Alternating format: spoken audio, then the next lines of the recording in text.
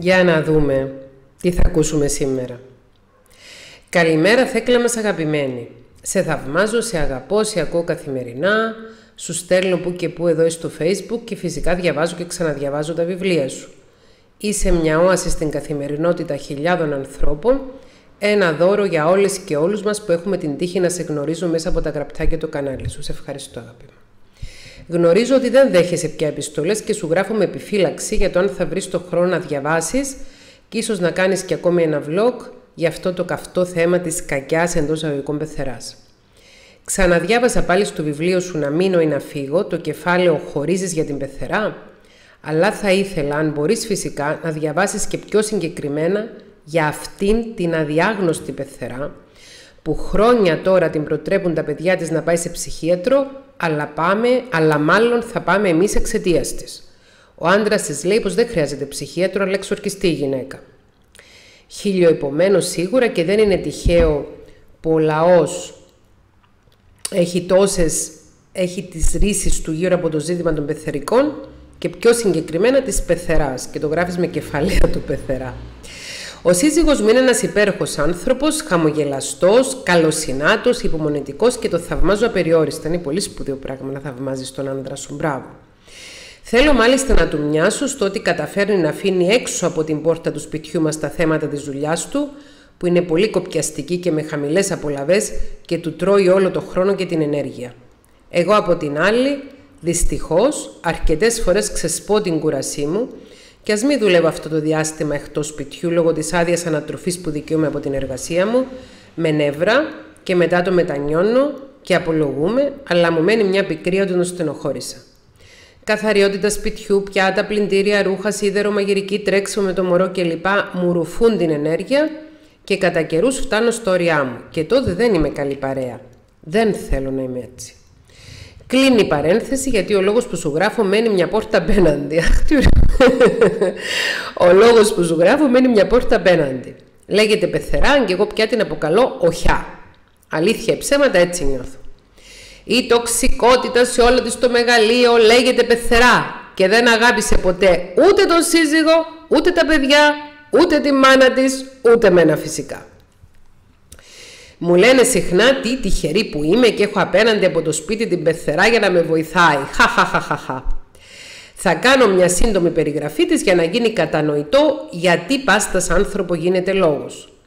Στην πρώτη μας γνωριμία δεν έχασε την ευκαιρία να με ψαρέψει για όλα τα περιουσιακά μου στοιχεία. Σου λέει τώρα αυτή κάνει για νύφη για το γιο μου ή είναι καμιά ξεβράκωτη. Πού μένουν οι δικοί μου, πού μένει ο παππούς, αν ο παππούς έχει δικό του σπίτι, τι δουλειά κάνει η θεία μου κλπ. κλπ. Ήταν στοχευμένες οι ερωτήσεις της ώστε να σχηματίσει πλήρη εικόνα της οικονομικής κατάστασης της οικογένειας από την οποία προέρχομαι. Η ίδια έχει μια δουλειά εντός εισαγωγικών στο δημόσιο. Η εργασία της εντός εισαγωγικών απέχει δύο λεπτά από το σπίτι της και πηγαίνει ό,τι ώρα αποφασίσει, κάθεται λίγο και φεύγει. Να σημειωθεί ότι πληρώνεται περισσότερα χρήματα από το γιο της που κάνει καμία ώρα να πάει στη δουλειά αχάραγα και γυρίζει ξεπατωμένος. Η διαφορά τους είναι ότι αυτή συνεχώς γκρινιάζει για το πόσο κουράζεται. Παντρεύτηκε πολύ μικρή και ποτέ δεν αγάπησε τον άντρα της, αλλά και ποτέ δεν πήρε διαζύγιο, γιατί ο άντρα της είχε μια εργασία με κύρους και καλές απολαύες που τη εξασφάλιζαν άπειρα λούσα, ανέσει και πολυτέλεια, καθώς και αμέτρητα ταξίδια στα νιάτα τους. Τον άντρα της τον έβριζε και τον βρίζει ακόμη και τώρα συνεχώς. Δεν μπορώ να δώσω καλή εικόνα του πόσο πολύ τον προσβάλλει, γιατί και εμένα αν μου το περιέγραφα δεν θα το κατανοούσα. Αλλά το έχω δει αμέτρητες φορές να συμβαίνει. Δεν τον αφήνει να μιλήσει. Τον διακόπτει διαρκώς. Του λέει να σταματήσει να μιλάει, ότι όλο βλακίες λέει. Και λέει δικά της. Μπαίνει ακόμη και μπροστά του, ώστε να μην μας βλέπει ο άνθρωπος όταν μιλάμε, αλλά να βλέπουμε και να ακούμε αυτή. Τον κατηγορεί για όλα, όπου σταθεί και όπου βρεθεί. Τον βάζει να τις κάνει δουλειές κτλ. Να σημειώσω ότι μένουν σε διαφορετικά σπίτια. Αυτή μένει στο δικό της και αυτό στο δικό του που είναι και εξοχικό όλων. Τον χρησιμοποιεί για να την πηγαινοφέρνει με το αμάξι του από το σπίτι στο εξοχικό και το αντίστροφο και για όποια άλλη ανάγκη προκύψει. Είναι ο σοφέρτη, το παιδί για όλες τις δουλειές και ο δέκτης του εμετούτη. Του φέρεται εξαιρετικά άσχημα και υποτιμητικά και αυτός νομίζει ότι θα αγιάσει με το να την ανέχεται. Τι ψυχοπαθολογία θα κρύβει και αυτός με το να ανέχεται μια ολόκληρη ζωή αυτή τη μέγερα δεν μπορώ να διανοηθώ. Από μικρή που την μαντρεύτηκε, της έκανε όλα τα χατήρια και την έκανε εξαιρετικά κακομαθημένη. Σχετικά με τα παιδιά της, έχω μάθει σημεία και τέρατα από την παιδική τους ηλικία. Μια μαμά καθόλου μητρική. Έφαγαν πολύ ξύλο. Ο άντρα μου κάποια στιγμή μου αποκάλυψε ότι η μάνα του έσπασε στην πλάτη του μια ξύλινη κουτάλα. Τους έστελνε σχολείο με άπλυτα ρούχα και τα παιδιά ντρεπόντουσαν. Όλη η μέρα μιλούσε στο τηλέφωνο, δεν μαγείρευε καν. Αυτός είναι και ο λόγος που ο άντρα μου είναι πια και ο πρώτος μάγειρας, ξέρει και κάνει θαυμάσια φαγητά. Έβαζε ηλεκτρική σκούπα και μπούκαρε στο δωμάτιο που κοιμόντουσαν τα παιδιά και τα ξυπνούσε και τα έβριζε και από πάνω. Δεν έκανε δουλειές, δεν μαγείρευε, δεν δούλευε, μόνο ψώνιζε και έβριζε. Να τονίσω το ότι δεν δούλευε, να τονίσω το ότι δεν δούλευε γιατί η ίδια θεωρεί πως δουλεύει. Τα τελευταία μόνο χρόνια της βρήκα μια δουλειά που δεν σέβεται και λέει παντού ότι δουλεύει, αλλά στην πραγματικότητα δουλεύει τον κόσμο. Της συμπαθείς πολύ την πεθερά σου, ε, πάρα πολύ. Δεν ζητά ποτέ συγγνώμη. Όταν της συναντήσεις, είναι νόμος ότι θα γκρινιάξει. Κάτι θα την πονάει, η μέση, η πλάτη, τα πόδια, κάπου έχει να δώσει πολλά λεφτά κλπ. Είναι από πάνω μέχρι κάτω μια μιζέρια και απίστευτα τοξική. Τα παιδιά της δεν τα άφησε να σπουδάσουν παρόλο που είχαν πολλά χρήματα από λεφτά που τις άφησαν οι δικοί της. Ο άνδρα μου ήταν στο πανεπιστήμιο και οι καθηγητές έλεγαν πόσο καλός είναι, αλλά η μανούλα του αποφάσισε ότι τα παιδιά πρέπει να δουλεύουν και σταμάτησε να δίνει χρήματα. Για τα λούσα της φυσικά πάντα είχε και έχει λεφτά. Αυτός είναι και ο λόγος που πλέον ο άντρας μου παίρνει πιο χαμηλό μισθό. Βλέπεις δίχως πτυχίο, όση δουλειά και να βγάζεις, είσαι πιο χαμηλά στην οικονομική ιεραρχία. Τους φώναζε λοιπόν πως είναι τεμπέληδες και αχαήρευτοι και με τη στάση τους τους έσπρωξε να διακόψουν τις σπουδές προκειμένου να αρχίσουν να βγάζουν τα δικά τους λεφτά. Ο άντρας μου και τα αδέρφια του την παρακαλούσαν από μικρά παιδιά να χωρίσει αφού δεν περνούσε καλά στο γάμο της και όλο έβριζε τον άντρα της. Οι καυγάδε ήταν ομοιρικοί και συνεχείς. Ο άντρας μου μεγάλωσε σε πολύ τοξικό περιβάλλον. Διάφορες βρισχές ήταν φωνές που είχαν την τιμητική του στο σπιτικό της. Καμιά φορά ο άντρας μου αναρωτιέται πώς δεν τους πήρε η πρόνοια με τις κρίσεις της μητέρας τους μέσα στο σπίτι. Το άλλο της παιδί το κατηγορούσε ότι παντρεύτηκε κάποιον που ήταν χωριά της. Λες και αυτή η αμόρφωτη κατάγεται από κανέναν τζάκι. Δεν ξέρει καν βασική ορθογραφία. Το μοναδικό της ενδιαφέρον και μόνιμο θέμα συζήτησης όπου σταθεί και όπου βρεθεί είναι τα σπίτια και τα λεφτά. Γενικά τα άλλα της παιδιά της έκλεισαν νωρίς την πόρτα και έχουν τυπικές επαφές. Στο εξοχικό, δε όταν βρισκόμαστε όλοι μαζί, μαλώνουν συνεχώς και υπάρχει πάντα ένταση στην ατμόσφαιρα. Σε μένα έχει κατηγορήσει πολλές φορές τα παιδιά της, αλλά και, το, και τα άλλα της παιδιά, αλλά και τον άντρα μου. Και με τις φίλες τα στα τηλέφωνα, αλήθεια αναρωτιέμαι πώς γίνεται να μιλάω όλη μέρα στο τηλέφωνο και με ποιον μιλάει, ποιος την ανέχεται, ε, παρόμοιες με αυτή. Κατηγορεί τα παιδιά της και τον άντρα της. Αναρωτιέμαι πώς ανέχεται τον ίδιο της τον εαυτό. Μια χαρά ανέχεται τον ίδιο της τον εαυτό. Τι; Κάποια στιγμή η μάνα της, δηλαδή η γιαγιά του άντρα μου, αρρώστησε και δεν είχε επαφή με την πραγματικότητα, ούτε κινητικά μπορούσε να αντεπεξέλθει, ούτε νοητικά. Την ανέλαβε ολοκληρωτικά ο γαμπρός της. Ανέλαβε την πεθερά του, να την ταΐζει, να την ξεσκατίζει κλπ. Η πεθερά μου δεν αγάπησε και δεν ενδιαφέρθηκε ούτε για τον άντρα της, ούτε για τα παιδιά της, ούτε για τη μάνα της. Γιατί άραγε περίμενα εγώ να είναι καλή με μένα, έλα μούντε. Και θυμάμαι τώρα που μου είχε πει σε κάποια φάση ο άντρα μου ότι οι πρώην του δεν ήθελαν επαφές με τους γονείς του. Και τότε εγώ είχα σκεφτεί τι κακές πρώοι. Χαχαχαχαχα.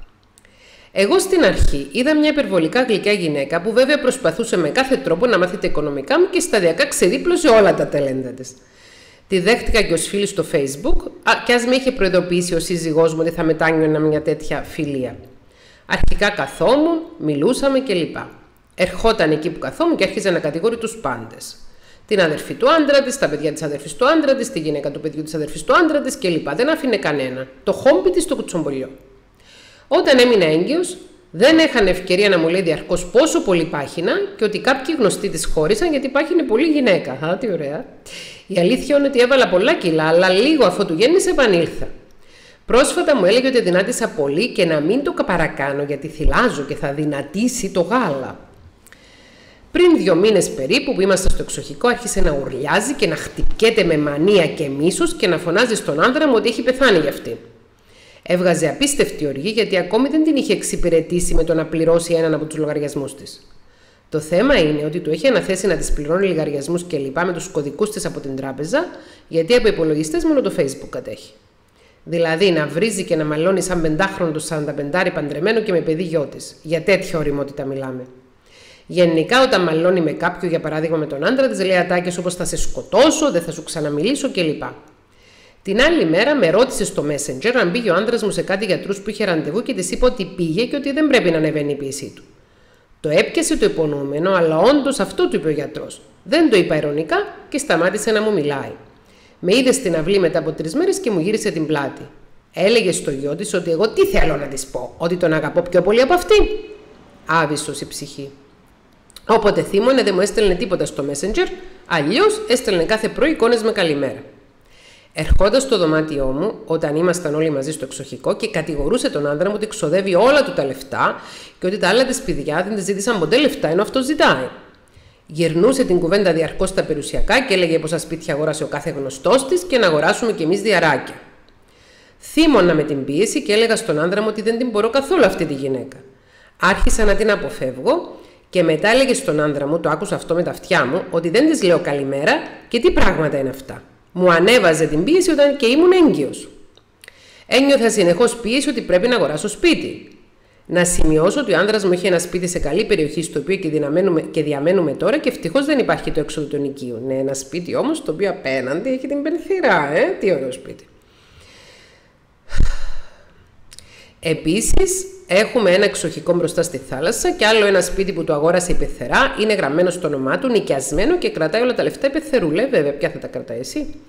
Εγώ δεν βρίσκω τον λόγο να αγοράσουμε σπίτι και να ζοριστούμε στα έξοδα τη στιγμή που έχουμε και σπίτι και εξοχικό και δεν μας περισσεύουν χρήματα. Μάλιστα, θυμώνω που δεν του δίνει τα λεφτά από το δικό του σπίτι. Είναι σωστό αυτό; Αυτή μένει σε δικό της μεγάλο σπίτι, το οποίο ανακαίνισε πρόσφατα, νοικιάζει δύο δικά της σπίτια και παίρνει τα ενίκαια έχει το μισθό της και παίρνει και το ενίκιο του σπιτιού του γιού της. Αν όντως θέλει να μας βοηθήσει, γιατί δεν του δίνει το σπίτι που είναι γραμμένο στο όνομά του να πάρουμε μια νάσα.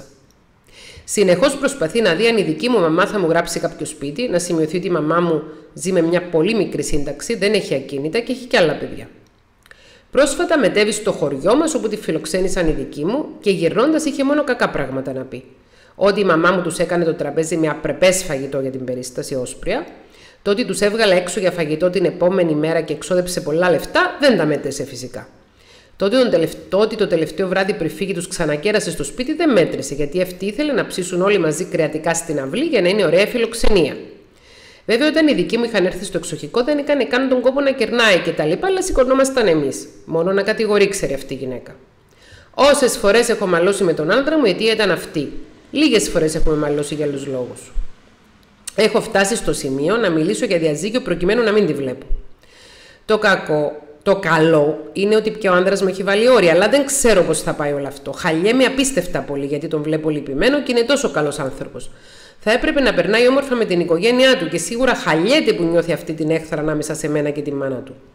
Νιώθω πως μου έχει αιμονή ή όπως λες και εσύ στην κυρία που σου μιλά για αντίστοιχο θέμα στο βιβλίο σου να μείνω ή να φύγω, στο κεφάλαιο χωρίζεις για την πεθερά.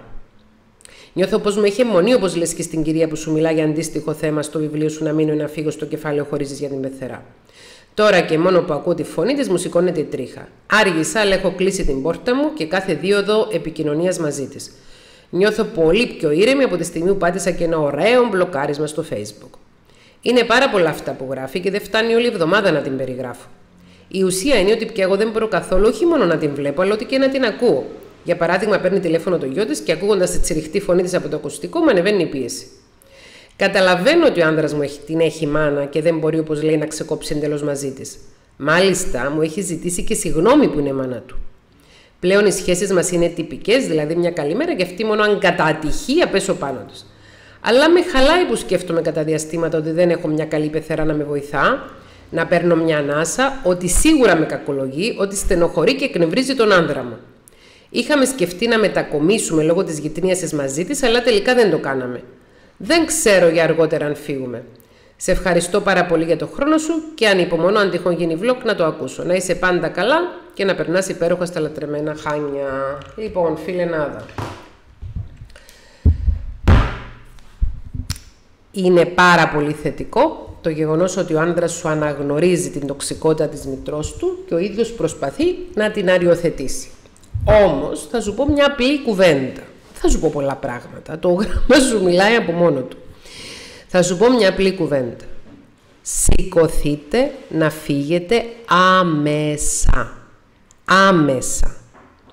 Δεν είναι ανάγκη να αγοράσετε άλλο σπίτι, μπορείτε να νοικιάσετε ένα άλλο σπίτι και να σηκωθείτε να φύγετε πάρα αυτά από τον ίδιο χώρο που ζείτε μαζί της. Δεν είναι φυσιολογική κατάσταση αυτή. Δεν είναι φυσιολογική συνθήκη διαβίωσης να ζεις στο ίδιο χτίριο με ένα πρόσωπο που λειτουργεί πάνω σας τόσο τοξικά. Δεν μπορώ να γνωρίζω τι πραγματικά συμβαίνει, γιατί ο καθένας περιγράφει τα γεγονότα όπως τα έχει βιώσει και όπως τα έχει αντιληφθεί. Το γεγονός και μόνο ότι εσύ και ο άντρας σου βιώνετε με τόση στενοχώρια και τόση βαρύτητα όλα αυτά που κάνει η πεθερά σου, δείχνει ότι πρέπει όπως και δίποτε να σηκωθείτε να φύγετε από το ίδιο κτίριο για να σώσετε την ψυχική και σωματική σας υγεία, για να σώσετε το γάμο σας. Δεν είναι τυχαίο αυτό που περιγράφεις ότι με τον άντρα σου τσακώνεστε κυρίως για την πεθερά σου, η πεθερά σου είναι αυτή που είναι, ο πεθερός σου είναι αυτός που είναι. Έτσι όπως την περιγράφεις αυτή τη σχέση, μιλάμε για μια σχέση συνεξάρτησης του πεθερού σου από την πεθερά σου, αλλά ταυτόχρονα σε μικρότερο βαθμό αλλά υπάρχει, μιλάμε και για μια σχέση συνεξάρτησης του ανδρός σου από τη μητέρα του. Ο τρόπος για να απελευθερωθείτε είναι να διαφύγετε, όχι απλώς να φύγετε, να διαφύγετε από εκείνο το διολεμένο χτίριο. Τι να τα κάνεις στα σπίτια, τι να τα κάνεις στα λούσα, τι να τα κάνεις στα παλάτια, άμα εκεί που ζεις, ζεις κάτω από τοξικές συνθήκες. Πολλές φορές δεν βάζουμε στο μυαλό μας ότι υπάρχει διαφυγή, ότι υπάρχει τρόπος να γλιτώσουμε από αυτό που βιώνουμε. Θεωρούμε ότι δεν μπορώ να φύγω από εδώ, δεν μπορώ να μην μιλάω στη μάνα μου, δεν μπορώ να αλλάξω σπίτι, δεν μπορώ να αλλάξω τις συνθήκες. Στο μυαλό μας είναι που μπορούμε και που δεν μπορούμε. Δείξε αυτό το βίντεο στον άντρα σου και πες του να δει αυτό που του λέω τώρα. Καταλαβαίνω ότι σε επηρεάζει αρνητικά η μάνα σου, είσαι όμως 45 χρονών, έχεις τη δικιά σου οικογένεια και μπορείς κάλλιστα να φύγεις μακριά από αυτήν. Μπορείς να βρεις να νοικιάσεις ένα μικρότερο σπίτι, το οποίο να βρίσκεται πιο κοντά στη δουλειά σου και να μην θες μια ώρα οδήγηση το πρωί να πας, να θες μισή ώρα οδήγηση, δεν ξέρω πώς θα το τακτοποιήσετε και να μεγαλώσετε το παιδί σας και να ζήσετε την οικογένεια σας σε ένα περιβάλλον μακριά από όποια τοξικότητα. Φαίνεται ότι το τυράκι με το οποίο σας δελεάζει η πεθερά και η μάνα του συζύγου είναι τα χρήματα, είναι οι περιουσίες, είναι τα σπίτια. Γι' αυτό το λόγο και δεν δίνει στον άνδρα σου να παίρνει το ενίκιο από το σπίτι που το έχει γράψει. Φαντάζομαι θα το έχει γράψει με επικαρπία, δηλαδή να παίρνει αυτή τα ενίκια μέχρι να πεθάνει και να το κληρονομήσει ο άνδρας σου. Όμως ο μόνος τρόπος για να μην έχουν ισχύ και επίδραση πάνω μας τοξικοί άνθρωποι προς εμάς, έστω και αν αυτοί οι άνθρωποι είναι συγγενείς μας, είναι να μην εξαρτώμαστε οικονομικά και συναισθηματικά από αυτούς. Εάν δεν υπήρχε η πεθερά σου, αν δεν υπήρχε η μάνα σου, αν δεν υπήρχε αυτή η λύση, δεν θα τσακιζόσασταν να βρείτε μια λύση. Αρχίστε να ζείτε σαν να και αυτή η γυναίκα δεν υπάρχει και δεν είναι σε ζωή. Δεν λέω να τις μιλήσετε άσχημα, δεν λέω να τις κάνετε κάτι κακό. Ζήστε τη ζωή σας σαν να μην υπάρχει αυτή η γυναίκα. Διαφορετικά είστε καταδικασμένοι να επηρεάζεστε στο διηνεκές από αυτήν και δεν ξέρω και πόσο θα διαρκέσει η ζωή σας και να μιλάμε για διηνεκές. Δεν είναι τυχαίο που τα λάθη στα παιδιά έχουν κόψει σχέσεις. Καθόλου τυχαίο. Είναι πολύ πιο υγιής αντίδραση η αντίδραση των άλλων παιδιών που έχουν κόψει σχέσεις. Κόψτε κι εσείς. Αυτή είναι η γνώμη. Εδώ θέλω να πω ότι όπως υπάρχουν τοξικές πεθέρες, έτσι υπάρχουν και τοξικές νύφες και επειδή όποτε ανεβάζουμε θέμα για πεθερά θα τύχει να μου στείλει μια κυρία «Μα γιατί μιλάτε μόνο για τις τοξικές πεθερές και δεν μιλάτε και για τις τοξικές νύφες» αν κάποια κυρία θέλει να στείλει ένα γράμμα για τη δικιά της τοξική νύφη, ευπρόσδεκτη.